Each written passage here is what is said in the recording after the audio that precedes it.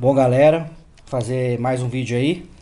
Hoje eu vou fazer um vídeo com essa pistola aqui.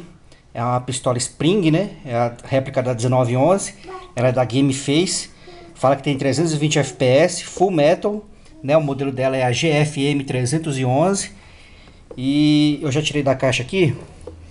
Eu não costumo fazer vídeos com pistola Spring Mas eu resolvi fazer dessa aqui particularmente Porque eu achei muito forte então ela vem umas bebês de teste, né? Vê as instruções aqui, tem uma até em português, uma em inglês.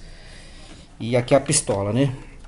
Ela é uma 1911, tem umas marcações aqui da Game Face, né? E o interessante dessa pistola aqui, além de ser full metal, e, e apesar da força, ela tem aqui o grip dela, o, no grip dela aqui a trava, né? Ó, da empunhadeira, né? Funcional, além da trava aqui né, de segurança. Tem a trava da empunhadeira aqui do grip, funcional. É uma pistola que eu fiz a comparação com a Glock elétrica. Me surpreendi pela distância né, que, ela, que ela disparou. Foi praticamente a mesma distância de uma Glock elétrica. E por isso que eu resolvi fazer esse vídeo. Aqui no magazine, né, o magazine cabe é, 12 bolinhas, né, 12 bebês. E aqui tem um compartimento no mag que você coloca aqui, acho que 50 bebês, se eu não me engano, né? E você só acabou aqui, você só baixar a molinha, faz sacudir assim que ela vai cair nas as bolinhas que estão no compartimento aqui no mag para ficar mais fácil da, na, durante o jogo, né? Ou no seu uso recreativo aí, tá fazendo a recarga.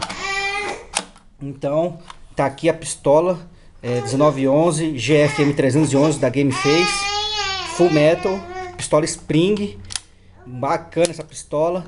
É, aqui quando você puxa o slide para fazer a, o para poder engatilhar ela, né, para disparar, aqui a janelinha dela abre também, né? E apesar da janelinha abrir, essa pistola aqui não para aberta quando acaba a bolinha, né?